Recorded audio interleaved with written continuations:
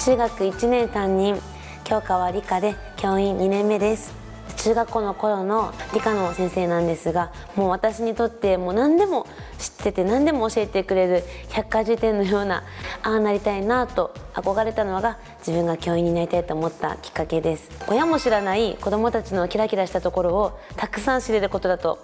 思います教室にニコニコしながら入ってきたり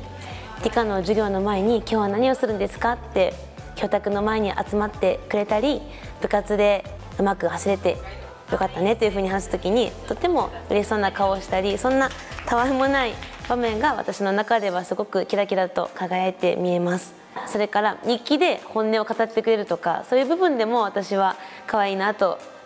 感じる部分がありますあできるだけ子どもたちに考えさせるそれからあの学習のまとめは子どもたちの意見や考えを拾ってまとめていく教科書のみで説明するだけでなくできるだけ現物を見せたり子どもたちに実験をさせてその中での気づきや考えを大切にしたいなというふうに思っています。えっと、理科が好きな生徒をたくさん作ることです理科が得意で進路を切り開いたり将来の夢を見つけたりすることもできるんだよってことを子どもに教えていけたらなというふうに思っています今年から陸上とそれからサッカーもあの2つの部活をあの掛け持ちで副顧問で今持っています。陸上は中学校の時から長距離をしています。やっぱ陸上は努力の成果が数字ではっきりと見れるスポーツなので生徒が陸上が好きって言って毎日元気にグラウンドに来てくれて今日のメニューを一緒に考えたりたまには一緒に走ったりしながら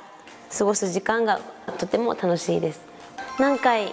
同じことを言っても伝わらなかったり授業でいろんな工夫をしても振り向いてくれない生徒がいる時にあちょっと難しいなと思うことはあります。その本人を絶対に否定しない行為については厳しく指導することはあるけどその子の人格とかその子を否定するようなことはもう絶対に言わないというのはこれは私のポリシーです。教員をしてみて思った以上に大変なことも多いけど、えっと、生徒の笑顔とか生徒のできた姿を見るだけでそんなのも全てあの吹っ飛ぶくらい先生という仕事は生徒たちに笑顔や学びをたくさんもらえるとてもやりがいのある仕事です。ぜひ一緒に頑張りましょう。先生のお仕事はとっても素敵です。ぜひ一緒に働きましょう。